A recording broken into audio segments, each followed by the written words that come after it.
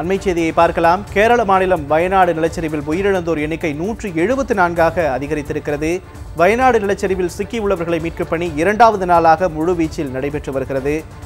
வயநாட்டில் ஆற்றில் மிதந்து வந்த அறுபது உடல்களை மீட்டது தேசிய பேரிடர் மீட்புக் குழு.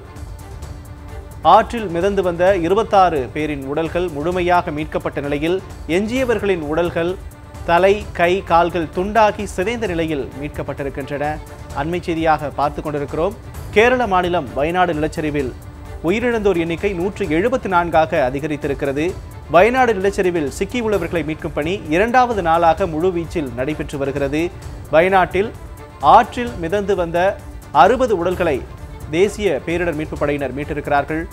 ஆற்றில் மிதந்து வந்த இருபத்தாறு பேரின் உடல்கள் முழுமையாக மீட்கப்பட்ட நிலையில் எஞ்சியவர்களின் உடல்கள் தலை கை கால்கள் துண்டாகி சிதைந்த நிலையில் மீட்கப்பட்டிருக்கின்றன. முழு விவரங்களை நமது சிறப்பு செய்தியாளர் பால்முருகனிடம் கேட்டு பெறலாம். பால்முருகன் கூடுதல் விவரங்களை பதிவு பண்ணலாம். வயநாடு நிலச்சரிவில் தற்போது பலி எண்ணிக்கை நூற்றி எழுபத்தி ஆறாக உயர்ந்திருக்கிறது. அதாவது நேற்று அஹ், வயநாடு அஹ், சூரல்மலை பகுதியில் ஏற்ற அஹ், ஏற்பட்ட நிலச்சரிவு விபத்தில் நேற்றைய தினம் நூற்றி ஐம்பதுக்கு மேற்பட்ட உடல்கள் அஹ், கண்டெடுக்கப்பட்டன.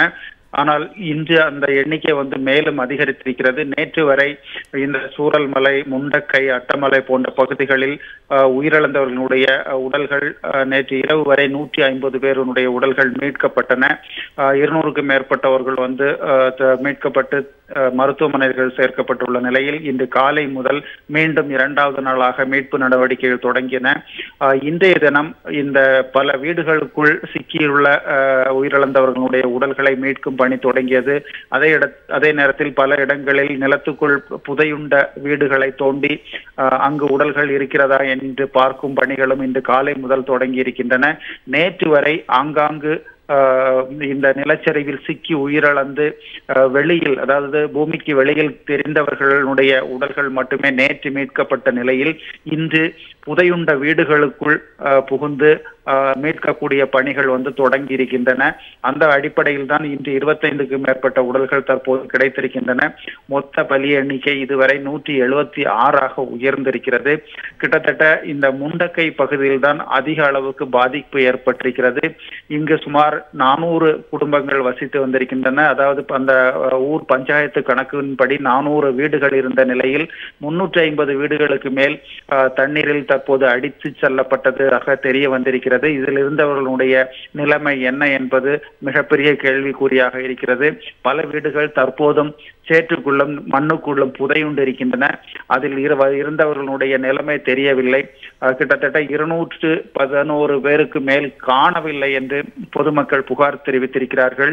இப்படி மிக மோசமான ஒரு விபத்து இந்த பகுதியில் ஏற்பட்டிருப்பது தற்போது பார்க்க முடிகிறது. தொடர்ந்து இந்த முண்டக்கை அதே போன்று சூழல்மலை அட்டமலை போன்ற பகுதிகளில் இன்று மீட்பு நடவடிக்கை தீவிரமாக நடைபெற்று வருகிறது. முண்டக்கை பகுதியில் தண்ணீரில் அடித்து செல்லப்பட்ட பாலத்தை மீண்டும் ராணுவத்தினர் இன்று புனரமைத்து அதன் வழியாக மீட்பு பணிகளை விரைவுபடுத்தி வருகிறார்கள். இந்த நிலையில்தான் கூடுதல் உடல்களும் தொடர்ந்து கிடைத்து வருகின்றன. இன்று மட்டும் இருபத்தி இருபத்தைந்து உடல்களுக்கு மேல் கிடைத்திருக்கின்றன. மொத்த பலி எண்ணிக்கை நூற்றி எழுபத்தி ஆறாக உயர்ந்திருக்கிறது அசோக். கூடுதல் விவரங்களுக்கு நன்றி பால்முருகன்.